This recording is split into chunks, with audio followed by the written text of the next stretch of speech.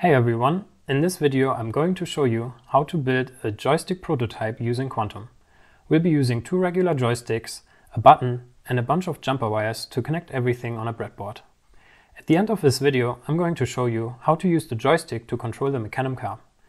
The link for the Mecanum car project can be found in the video description down below.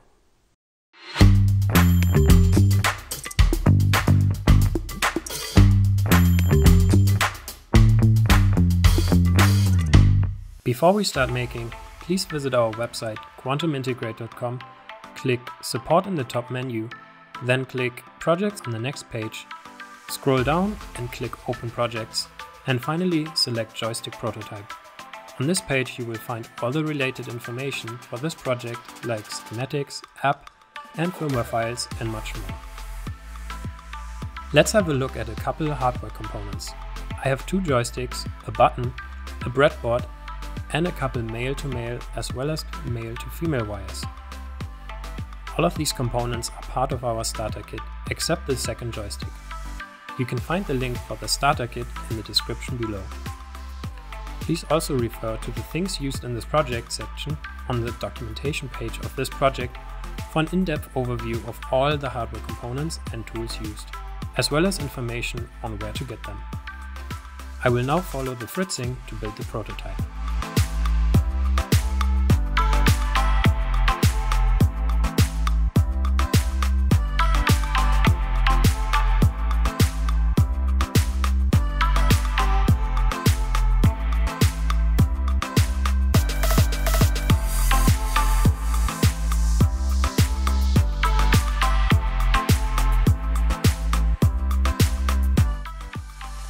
That was easy.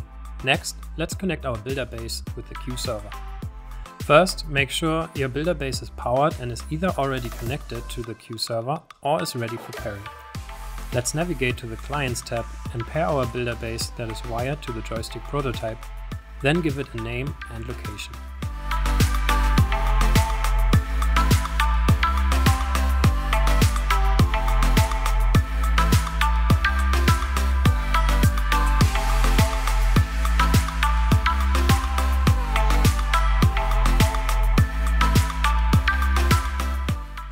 Next we have to prepare the firmware file. Navigate to the firmware page using the firmware icon in the menu on the left side of your screen.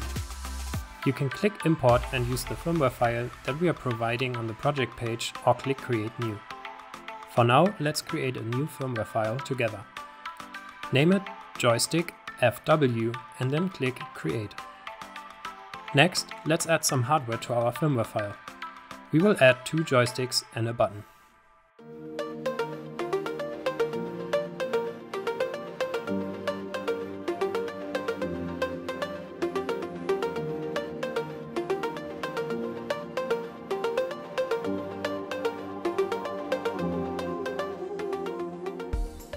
Let's start by configuring the left joystick.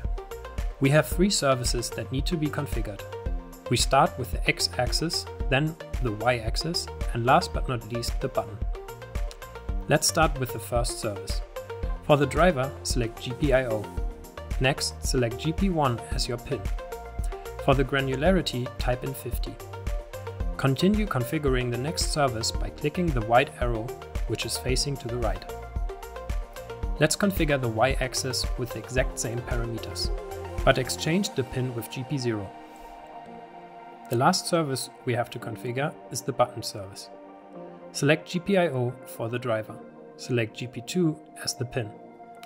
Turn on debouncing and select input pull down as the pin mode.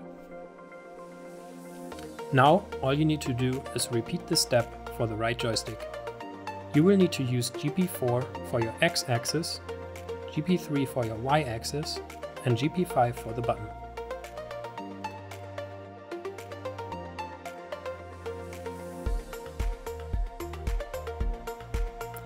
The last step is to configure the separate button. For driver, select GPIO. We are using GP6 as you can also see in the fritzing file. Enable debouncing and select input pull down for the pin mode. Congratulations, you finished creating the firmware file for the joystick prototype. Now all you have to do is upload it to the builder base.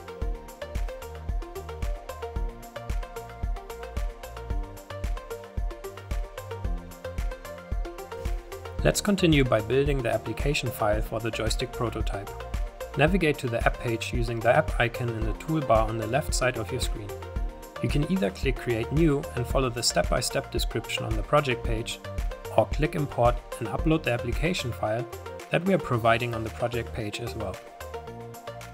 First, let's revise the general structure of the app together. Looking at the canvas from a high level, you will notice that we have a lot of blue hardware objects on the left. These are essentially our two joysticks and a single button. Next to the blue hardware objects, we have a couple green interface objects. These are used to provide a dashboard for this app and demonstrate the various values being sent from the joystick to the server.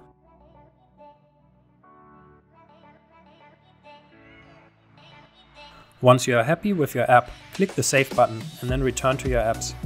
Next, click the Play button next to the application name which will open the application mapping. For each hardware object, select the builder base with the corresponding hardware. Once you are done, hit the Save and Run button. You're now ready to use the joystick prototype. Have fun using it with your next project.